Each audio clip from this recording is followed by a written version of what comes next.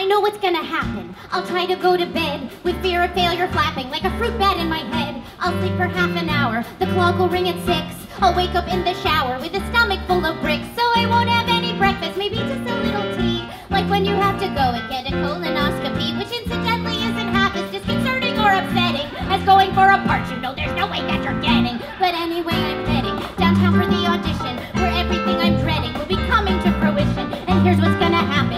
happen: I'll walk in weak with hunger, and there's a dozen girls who look like me but ten years younger. I'll go into the bathroom and I'll try to vocalize, and I'll be singing minga minga minga minga minga, but I'll be hearing Sandy suck. She really sucks. She really really really blows, and she's old and she's lame. And then someone calls my name, and here's what happens: I'll walk into the room. The gross fluorescent lighting is inviting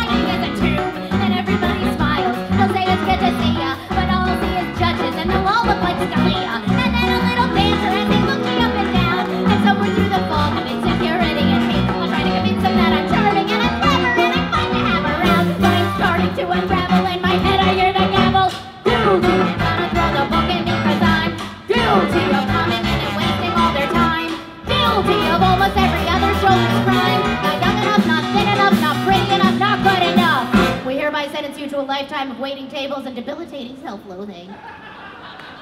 But wait, now someone's asking, so can we hear your voice? I make a lame attempt at humor, do I have a choice? I nod at the pianist, he's always wearing black. He's always in a turtleneck with dandruff on his back.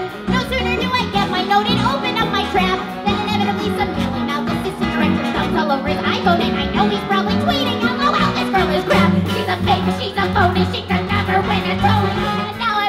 Place I know quite well. I've left the world and I've entered hell. I'm this far away from a fainting spell, but just before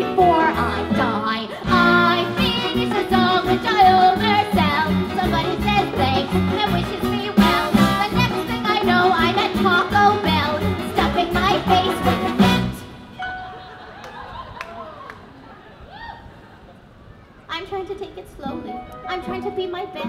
I'm trying to be more holy, less bitter and depressed. Oh, I'm reading Eckhart Tolle. He makes a lot of sense. I bought a Buddhist bowl. He says it helps you be less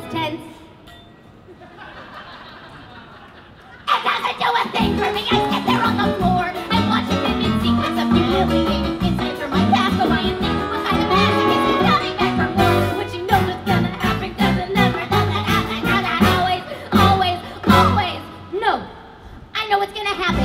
Don't tell me that I don't, and don't do that I'll rise to the occasion. I won't.